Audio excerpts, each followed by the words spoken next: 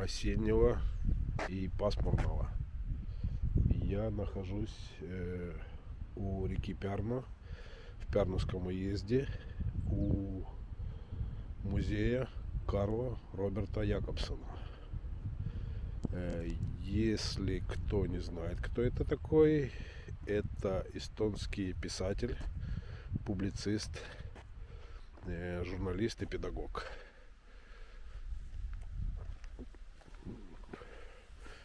Место это называется Кургя.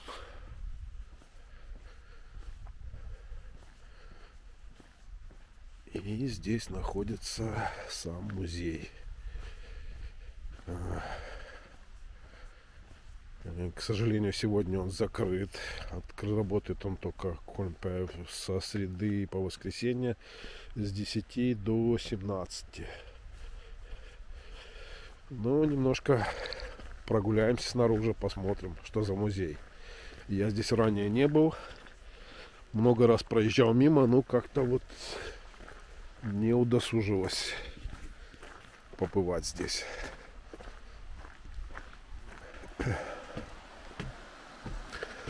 Сегодня у нас очень-очень пасмурно. Сейчас раннее утро, но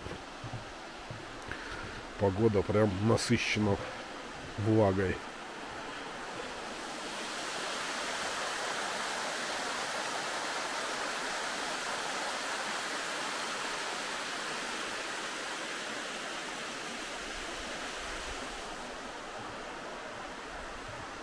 Совершенно безлюдно сейчас.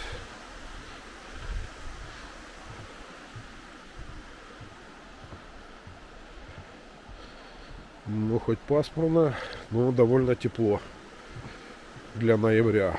Сейчас где-то около плюс 10 градусов, если я не ошибаюсь.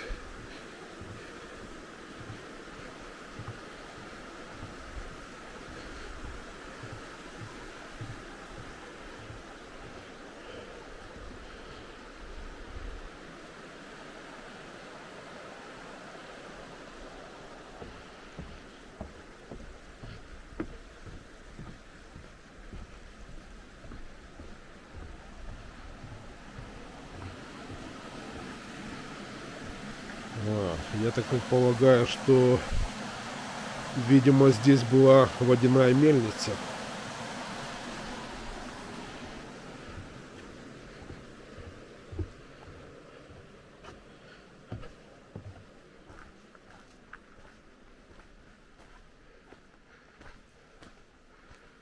Вот сам вход в музей, который сейчас закрыт.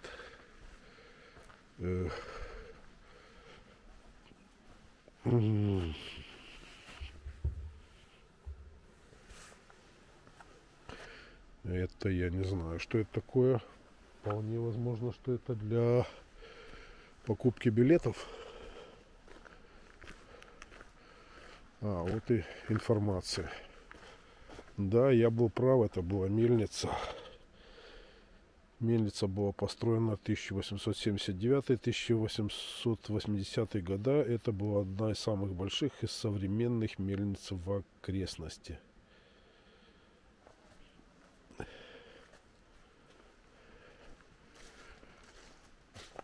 Такая пасека красивая. И все-все, буквально все деревья покрыты плотным-плотным мхом.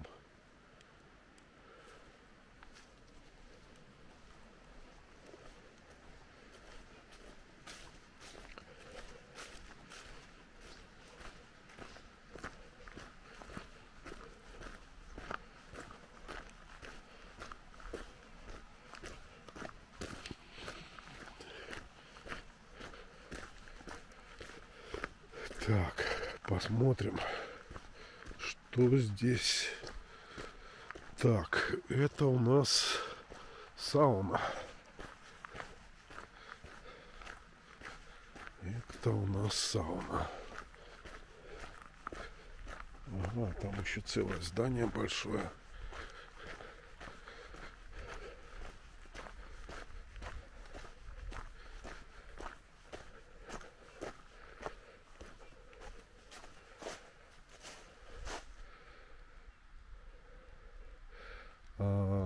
Карл Роберт Якобсон и там, э,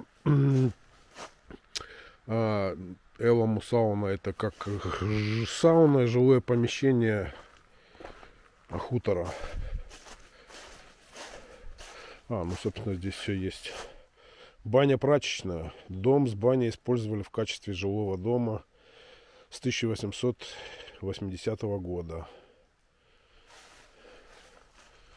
Вот здесь мылись и парились.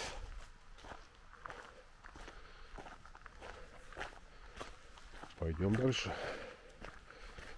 Это что-то за маленькое. Какое-то подсобное помещение, видимо.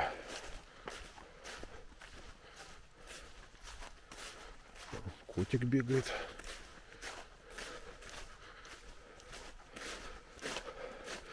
Зимний домик с ульями. Вот такой он, зимний домик. Попробую открыть. Вроде замка здесь нету. Ага, нет, открыто. И как я говорю, все деревья здесь буквально, большинство из них все покрыты полотным мхом. Пойдем дальше смотреть.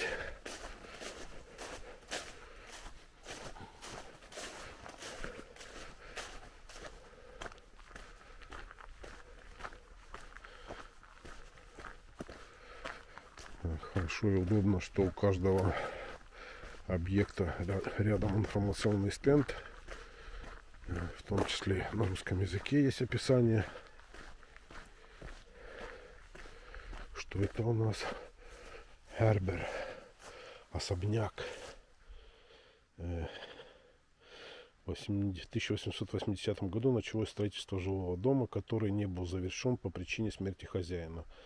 Согласно планировке, этот дом должен был получиться просторным и светлым. Якобсон избегал немецкого стиля и взял за образец русскую деревянную архитектуру.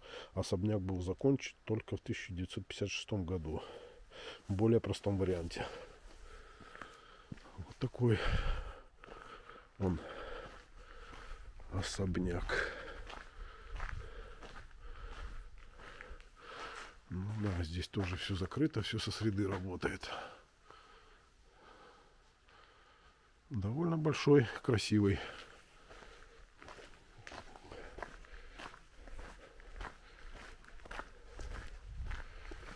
Какое-то впереди очень большое подсобное помещение, хозяйственное просто внушительных размеров. Так, а это что у нас? Вот что-то красивое такое прямо прям такое ощущение, что это неестественно, а искусственно созданное. Хотя на самом деле все прям красота. Айт Амбар. Самое старое здание, которое было перевезено сюда в 1879 году с бывшего хутора.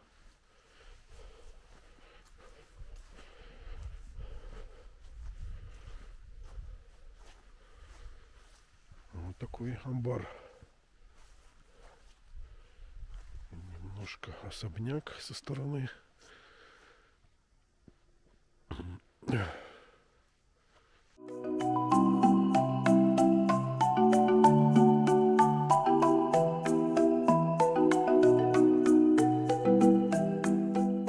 Продолжим нашу небольшую экскурсию. Вот я выхожу к этому амбару. А, он действительно очень большой. Не амбар, я не знаю, что это за постройка хозяйственная. Ну, она довольно большая. Вот там еще что-то находится. Сейчас я и туда схожу.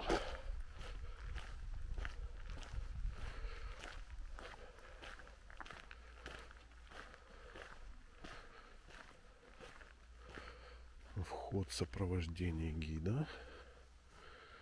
Ласкаем животных только в перчатках.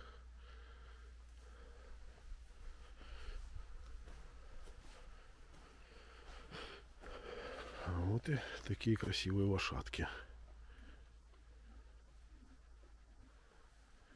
Завтракают.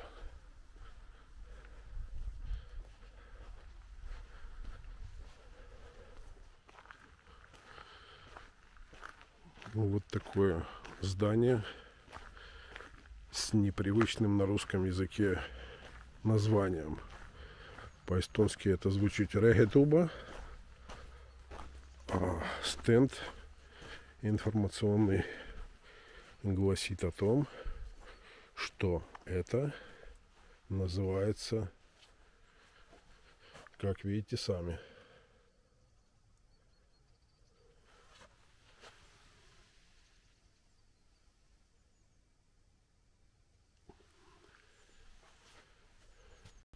siin on siis ähm,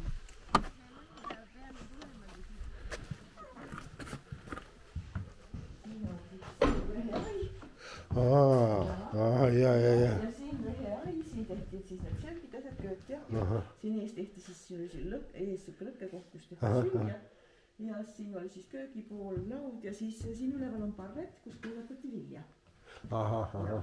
Viljakuivatus ja siis sügisel tulid kõik äh, tööd ka siia , tööriistad tulid ka siia , peremees parandas oma vankrirattaid või Ahah. või äh, perenaine siis nagu ketras siin ja kõik , mis see noh , need viljatööd ja asjad tulid Ahah. siis . no ühesõnaga siin elavad ja töötavad ja , ja , ja , ja vana ja eestlaste elamu Ahah. ja versus selle vastu siis , mis Jakobson siis ehitas sellise различные хозяйственные машины.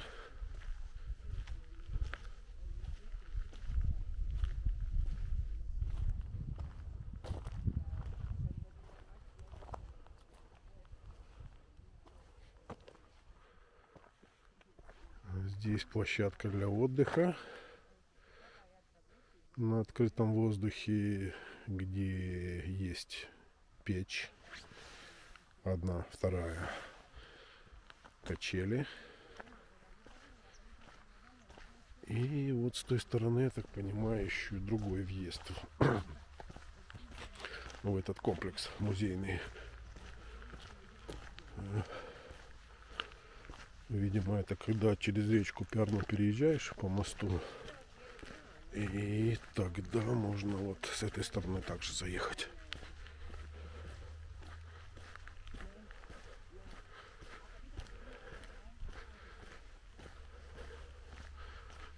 Да. Пикник, Уплас, пикник, арена. Вот.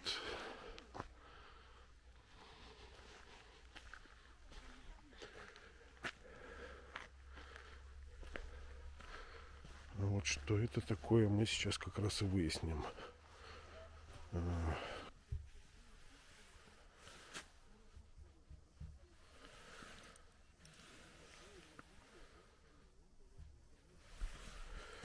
К сожалению, не работает тачскрин.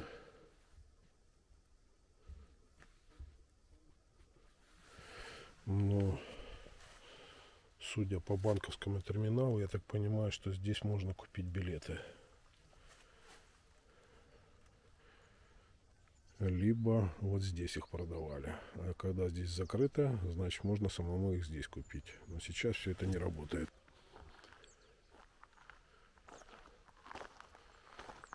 Ну вот и весь комплекс музея. И я возвращаюсь обратно.